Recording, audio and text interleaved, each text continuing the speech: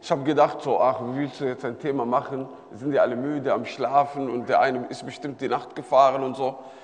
Aber ich habe gesagt, wir reden über Mohammed sallallahu alaihi wasallam, über den Propheten Mohammed. Dann habe ich gesagt, wenn man ihn liebt, dann wird man sofort wach werden. Wie? Über Mohammed? Allahu Akbar.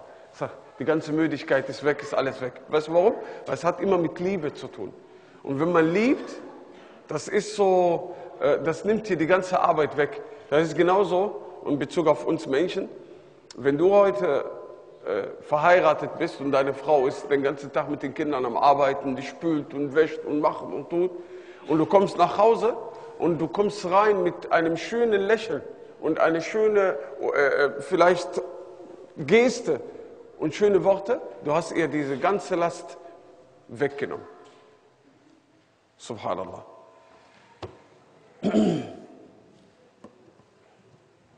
Noch Bewegung. طيب fangen wir an, inshallah. أعوذ بالله من الشيطان الرجيم. بسم الله الرحمن الرحيم. إن الحمد لله نحمده ونستعينه ونستغفره ونعوذ بالله من شرور أنفسنا ومن سيئات أعمالنا. من يهده الله فلا مضل له ومن يضلل فلا هادي له. وأشهد أن لا إله إلا الله وحده لا شريك له. وأشهد أن محمدا عبد الله ورسوله صلى الله عليه وآله وسلم Ich grüße euch mit dem Gruß des Islams. Assalamu alaikum wa rahmatullahi wa barakatuh. Und äh, ich hoffe, dass wir heute in dieser Sitzung etwas darüber erfahren können, wer ist Muhammad sallallahu alaihi wasallam. Und natürlich, äh, diese Aufgabe über Muhammad sallallahu alaihi wasallam zu sprechen, ist sehr, sehr ähm, kompliziert und schwierig. Sie hat äh, mit Ehrfurcht auch zu tun, weil es ähm, gerade auch in Bezug auf alaihi wasallam gibt es sehr viele Übertreibungen auch, ja. Sachen, die äh, über alaihi wasallam niemals überliefert worden sind und niemals äh, ehrlich und wahrhaftig und authentisch sein können. Deshalb, ich möchte heute, wenn ich über alaihi wasallam spreche, erstmal über den Koran sprechen. Das heißt, wer Muhammad sallallahu alaihi wasallam wirklich kennenlernen möchte, wahrhaftig und authentisch, er soll im Koran schauen.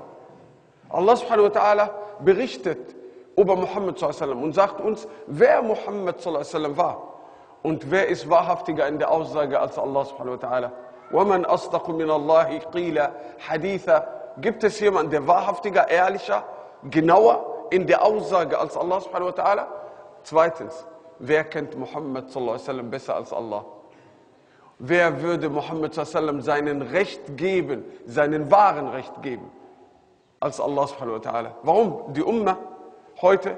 Natürlich, egal wie wir uns gespalten haben, jeder steht hinter Muhammad wasallam. Und jeder behauptet, dass er äh, Muhammad liebt und dass er hinter Muhammad wasallam ist. Doch viele haben sich gespalten, was das Tawhid, was diese Angelegenheit angeht. Und letztendlich auch in der Bedeutung der Liebe zu Muhammad wasallam haben wir, gehen die Meinungen auseinander. Morgen inshallah das Thema, die wahre Liebe. Da werden wir über Allah subhanahu wa ta'ala sprechen und über die Liebe zu Muhammad wasallam was bedeutet das wirklich, Muhammad sallam zu lieben? Und dann wirst du selber einen Maßstab nehmen und gucken, liebe ich wirklich? Oder war das die ganze Zeit, ich habe geglaubt, dass ich ihn liebe? Subhanallah. Die Liebe zu Muhammad sallam hat Allah subhanahu wa ta'ala vorgeschrieben und hat sie beschrieben ganz genau. Dann kannst du es direkt daran messen, wie Ibn Kathir rahmahullah äh, gesagt hat. So, Allah subhanahu wa ta'ala sagt über Muhammad wasallam, لقد كان لكم في رسول الله أسوة حسنة لمن كان يرجو الله واليوم الآخر وذكر الله كثيرا. Subhanahu wa ta'ala sagt, ihr hattet, das ist die genauere Übersetzung, wenn man sagt, ihr habt, nein, ihr hattet in eurem Propheten, sallallahu alaihi wasallam, ein schönes Vorbild für denjenigen, liman kana yarju Allah, für denjenigen, der zu Allah will, Allah beabsichtigt, وَذَكَرَ اللَّهَ كَثِيرًا und er Allah sehr viel gedenkt. Das heißt, in der Ibadah, wenn du deine Ibadah intensivieren möchtest und du möchtest das genießen auf eine Art und Weise, wie die Sahaba es genossen haben und letztlich wie Muhammad Allah gedient hat, nimm den Propheten Muhammad als Vorbild in Bezug auf seinen Schöpfer subhanahu wa ta'ala. Allah subhanahu wa ta'ala lobte Muhammad im Koran. Er sagte in Bezug auf seinen Verstand und das ist eine Antwort auf die diese Aussagen, die sagen, Mohammed war und er hatte epileptische Anfälle und der Scharf ich und der Koran. Ja, subhanallah, wenn du, wenn du, wenn du Mohammed schon vor, vor dem Islam betrachtest, er war eine vollkommene Persönlichkeit. Die Kuffar streiten sich wegen dem schwarzen Stein. Mohammed richtet, sallallahu unter ihnen. Würde man als Richter ja, jemand als Richter nehmen, der in deren Augen krank und, und äh, Verstandprobleme hat? Niemals. Sallallahu. Allah subhanahu wa ta'ala spricht über Muhammad und sagt. Nicht in die Irre geht euer Gefährte. Dann sagt Allah subhanahu wa ta'ala, was seine Ehrlichkeit angeht. Er spricht nicht aus Begierde. Er spricht nicht aus Lust heraus, wie vielleicht der eine oder andere unter uns macht. Muhammad tut das niemals. Wenn er sauer ist, dann ist er sauer wegen Allah.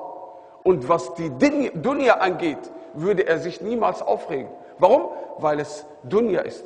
Seine Frau sitzt da, da kommt, äh, kommen Gäste, sie ist am Kochen, es dauert zu lange. Plötzlich eine andere Frau, Sophia, schickt ein Essen, der Junge klopft an der Tür, ach, Essen ist gekommen von einer anderen Frau. Sie wird eifersüchtig, nimmt den Teller und haut ihn auf den Boden. Muhammad sallallahu alaihi wasallam lacht darüber. Warum? Dunya. Dunya. Stehst du? Das ist Mohammed in seinem Charakter. Er ist in seinem Handeln. Und wir haben gestern über die Istiqama gesprochen. Istiqama in seinen Aussagen, wahrhaftig. Istiqama in seinem Handeln, ja. Und Istiqama in Bezug auf seinen Zustand gegenüber Allah subhanahu wa ta'ala. Viele von uns, wenn du seinen Zustand heute betrachtest, auch mit seinem Bart, dann machst du so ein Fragezeichen. Allahu Akbar, wer bist du? Wer bist Dieses Handeln, das, was du machst, wo bist du? Wer bist du? In Bezug auf Muhammad, sie haben nur ihn gesehen, sie haben an ihn geglaubt. Sallallahu alaihi wasallam. So wahrhaftig war er in seinem Handeln. Und Allah subhanahu wa ta'ala lobte ihn in Bezug auf seinen Umgang mit den Menschen. Der hat gesagt, wärst du grob und hartherzig, würden alle vor dir weglaufen. Und das ist eine Sache, die wir brauchen, gerade in der Dauer zu Allah subhanahu wa ta'ala. Ein Bruder ruft an, seine Eltern haben ihn Druck, Druck, Druck, dein Bart und äh, die, werden, die Polizei wird kommen und in der Schule und deine Karriere ist in Gefahr. Ist nach Hause gegangen, hat geweint, hat gesagt, weißt du was, nimmt, tschick, tschick, hat er Bart abrasiert geht raus, sein Freund wartet auf ihm auf dem Auto. Der hat ihn so fertig gemacht, dass die Nachbarn aus dem Balkon rausgekommen sind. Du, du machst eine Sünde öffentlich. Äh, verstehst du? Musst du Fdiha machen. Sind die in die Moschee gefahren? Er geht in die Moschee rein. Achi, Achi, Achi, komm, guckt mal, was der Bruder gemacht hat. Der Bruder ruft mich an und sagt, der hat mich bloßgestellt vor allen Menschen. Ich gesagt, Mohammed würde das niemals machen. Sallallahu alaihi wasallam. Und dann habe ich dem Bruder erklärt, dass das nicht unbedingt eine gute Tat war, aber ohne mit dem Hammer auf ihn einzuschlagen. Wenn wir so wären wie Muhammad, wirst du merken, wie viele Leute sich um uns versammeln würden und nicht vor uns weglaufen würden. Viele, viele denken, ja, ich bin ein Sünder, aber ich bin besser als mein Bruder. Deshalb darf ich ihn auch fertig machen. Muhammad war niemals so. War niemals so. Sogar im Gebet, ihr wisst ja, manche Sahaba sind gereist, sind zurückgekommen. Hadith Sahih Muslim. Ein Sahabi ist zurückgekommen aus der Reise. Damals haben sie miteinander gesprochen während des Gebets. Jemand kommt rein, Assalamu alaikum, wa alaikum assalam wa rahmatullahi wa barakatuh. Alhamdulillah. Ah, die reden miteinander während des Gebets. Irgendwann wurde es verboten zu reden. Dieser Sahabi steht in der Reihe, ist am Beten, einer, Abschied, hat er genießt. Ja, Hamukallah. Ja, Hamukallah. Sie haben auf, auf ihre Oberschenkel geschlagen und der Mann redet weiter. Was wollen Sie? Warum gucken Sie mich so an? Er redet weiter im Gebet, stell dir das mal vor. Und der eine guckt ihn so von der Seite böse. Ist gut.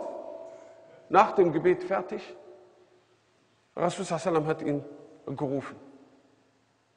Sagte er, du bist im Gebet und im Gebet gibt es nur Dhikr und Tasbih. Ah, Das, was die Leute sprechen, nicht im Gebet. Sagte bei Allah, ich kenne keinen besseren Lehrer als Muhammad. Er hat nicht über mich gelacht und er hat nicht über mich gespottet und er hat mich nicht angeschrien und nicht geschlagen. Aber er hat es mir auf eine schöne Art und Weise erklärt, dass das, was ich gemacht habe, falsch war. Subhanallah. Denke auch du darüber nach. Wenn jemand kommt und du siehst etwas von ihm, denke ich Jahil. Der hat keine Ahnung. Verstehst du? Und nimm den Weg, den Muhammad sallam eingenommen hat, in Bezug auf das Lehren, sallallahu alaihi wasallam. Bil Mu'minina Ra'ufu Rahim. Zu den Mu'minin ist er sehr milde, sallallahu alaihi wasallam. Er hat ihm, was sein Wissen angeht, gelobt, äh, subhanahu wa ta'ala, und hat äh, ihn in Bezug auf seinen Lehrer. Weißt du, wer der Lehrer von Muhammad war? Jibril a.s. Der allermächtigste Engel unter den Geschöpfen überhaupt. Weißt du, dass er mit einer Feder von seinen Federn eine ganze Stadt hochgehoben hat? Mit einer Feder. Subhanallah. Und er lobte ihn in seinen Charakter, sallallahu alaihi wasallam. Dann sagte er, Allah subhanahu wa ta'ala, und wahrlich, du besitzt äh, äh, gute Charaktereigenschaften, die wir leider nicht haben, auch nicht nachahmen.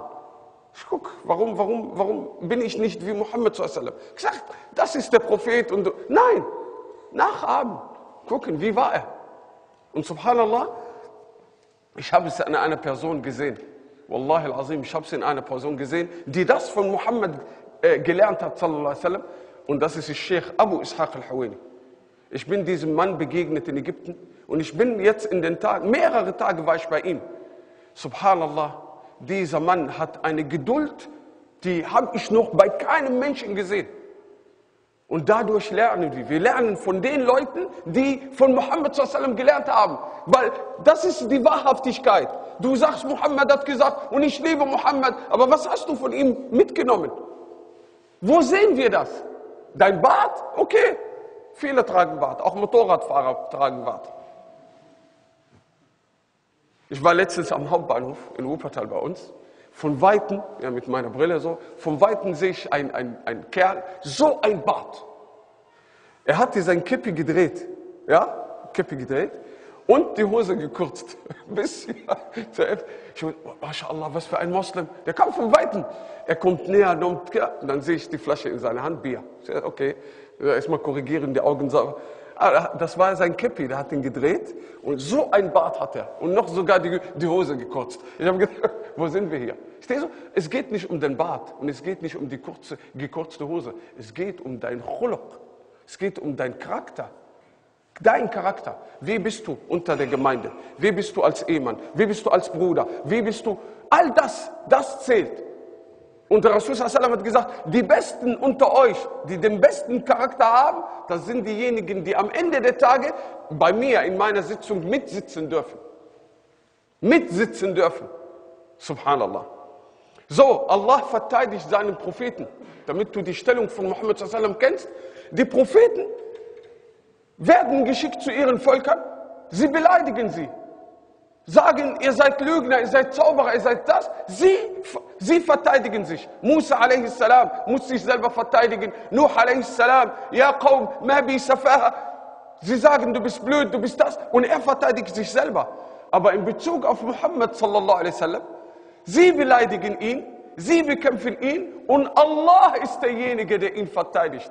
Er antwortet den Kuffar und Mushrikin. Sallallahu ala Nabi Muhammad. Damit du kennst, wer welche